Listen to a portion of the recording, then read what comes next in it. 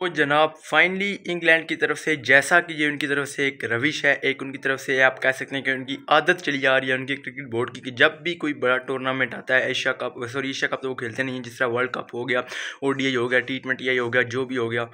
वो स्कार्ड जो अनाउंस करते हैं ना, वो काफ़ी पहले ही कर देते हैं। मतलब कि एक डेढ़ महीना भी टूर्नामेंट को रहता होता है और वो पहले कर देते हैं और सबसे पहले करते हैं। और वहाँ पर जो इंग्लैंड की टीम है उन्होंने अपनी जो ओडीआई वर्ल्ड कप की स्क्वाड है, जिसका इस साल जो ओडीआई वर्ल्ड कप हो रहा है, उसकी स्क्वाड को अनाउंस कर दिया गया है। लेकिन ये जो स्क्वाड अनाउंस हुई है, इसको अगर आप एक साइड पर रखेंगे और दो हज़ार उन्नीस का जो वर्ल्ड कप आप कह सकते हैं, जीता था इंग्लैंड ने न्यूजीलैंड से, वो फाइनल जो काफ़ी मतलब मज़े का फाइनल हुआ था। वो जो वर्ल्ड कप जीता था इंग्लैंड ने, उस स्क्वाड के प्लेयर अगर आप कंपेयर करेंगे, इस स्क्वाड के प्लेयर्स के साथ तो बहुत ज़्यादा ऐसे प्लेयर्स हैं जो बिल्कुल सेम वही खेल रहे होंगे। चंद कुछ ऐसे प्लेयर हैं जो कि चेंज हुए हैं मतलब कि आप कह सकते हैं कि सेवेंटी परसेंट वही टीम खेलेगी जो 2019 का वर्ल्ड कप खेली थी। मतलब कि जो खेली भी थी या उस स्कॉड में जितने भी बंदे मतलब के प्लेयर्स शामिल थे, वो इस स्क्वाड में भी शामिल किए गए हैं। लेकिन खैर स्कॉट की बात की जाए तो वहाँ पर सबसे पहले कैप्टन कैप्टन को अगर आप बात की जाए तो वहाँ पर जॉर्ज बटल जो है वो कैप्टनसी संभालेंगे। उसके बाद अगर बात की जाए तो वहाँ पर मोइन अली और ये जो मैं नाम आपके सामने ले रहा हूँ ना, ये सारे वही नाम हैं जो कि 2019 के वर्ल्ड कप में भी खेले गए थे जो खेला गया था, वहाँ पर भी ये सारे प्लेयर्स शामिल थे। उन्नीस के वर्ल्ड कप में दो हज़ार उन्नीस के वहाँ पर भी जॉर्ज बटलर थे, यहाँ पर भी जॉर्ज बटलर मौजूद हैं। वहाँ पर भी मोइन अली थे और यहाँ पर भी मोइन अली हैं।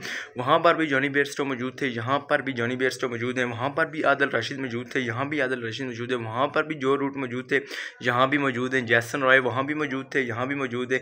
बेन स्टोक्स वहाँ भी मौजूद थे और जहाँ भी वो मौजूद हो चुके हैं। पिछली वीडियो में भी बताया था कि बेन स्टोक्स वापसी कर रहे हैं, क्योंकि वो जो प्लेयर है ना, बेन स्टोक्स, वो इंग्लैंड की टीम की रीढ़ की हड्डी है, क्योंकि वहाँ पर जब जब वो नॉर्मल मैचेस में तो शायद परफॉर्मेंस ना दें, लेकिन जो बड़े मैचेस हैं, जिसमें सेमीफाइनल फाइनल हो गया, वो वहाँ पर भाई साहब ये खिलाड़ी परफॉर्मेंस देता है।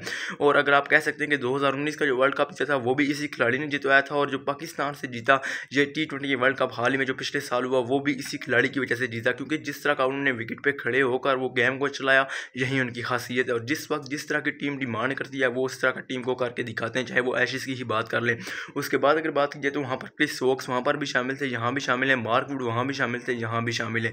तो अगर गिनती की जाए तो नौ मैन ऐसे खिलाड़ी हैं कि जो 2019 के वर्ल्ड कप में भी शामिल थे और 2023 की ओडीआई वर्ल्ड कप की स्क्वाड में भी शामिल किए गए हैं। मतलब कि नौ मैन खिलाड़ी और ये वो खिलाड़ी हैं कि जिन्हें जिन्हें आप रेस्ट नहीं करवा सकते, जिन्हें आप बेंच पे नहीं बिठा सकते। मतलब ये कि बेंच पे अगर कोई इंजरी ना हो या कोई ऐसा वैसा मसला ना हो तो इसके अलावा आप इनको बेंच पर नहीं बिठा सकते। ये सब खिलाड़ी इंडिया, आप कह सकते हैं कि इंग्लैंड के मैन खिलाड़ी हैं टॉप के प्लेयर्स हैं। उसके बाद अगर बात की जाए तो वहाँ पर जो इस ओडीआई स्क्वाड में शामिल किए गए हैं, वहाँ पर अकिनसन को शामिल किया गया है, सैम करन वहाँ पर वो ऑलराउंडर प्रॉपर ऑलराउंडर है, इनको भी पूरा मौका दिया जाएगा क्योंकि वहाँ पर उन्नीस के वर्ल्ड कप में शामिल नहीं थे। हाँ बताएँ इनके भाई शामिल थे टॉम करन वहाँ पे, लेकिन इस स्क्वाड में सैम करन शामिल है टॉम करन अपनी जगह नहीं बना पाए। उसके बाद लियाम लिविंगस्टन काफ़ी ज़्यादा पावर हिटर है ऑलराउंडर भी हैं। तो वहाँ पर ये उन्नीस के वर्ल्ड कप में शामिल नहीं थे और यहाँ ये शामिल हैं। उसके बाद डेविड मलान को शामिल किया गया है।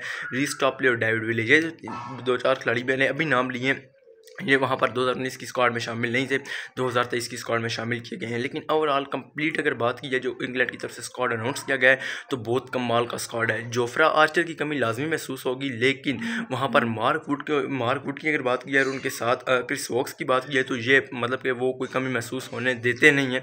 लेकिन फिर भी आर्चर का एक अपना लेवल था, जिस तरह का उन्होंने वो उन्होंने दो हज़ार उन्नीस का वर्ल्ड कप जब जीता था तो जो लास्ट ओवर उन्होंने डाला था और वो रन डिफेंड किए थे, पंद्रह सोलह वो कमाल के किए थे। तो देखना ये पड़ेगा कि जब इस मतलब के वर्ल्ड कप में जब वो नहीं होंगे तो उनकी गैर मौजूदगी में जो बाकी के बॉलर्स हैं फास्टर या स्पिनर वो किस तरह की परफॉर्मेंस देंगे। तो ये स्कॉट था जो मैंने आपके साथ शेयर किया। है कैसा लगा आपको स्कॉट कमेंट सेक्शन में लाजमी बताइएगा। वीडियो चलेगी चैनल को सब्सक्राइब कर दें वीडियो वीडियो को भी लाइक कर दें। और साथ ये भी बता दें कि उन्नीस के वर्ल्ड कप में और दो के वर्ल्ड कप में जो सिमिलैरिटीज़ हैं, वो आपको कैसी लगी। है मिलते हैं नेक्स्ट ब्लॉग में। हाफिज़।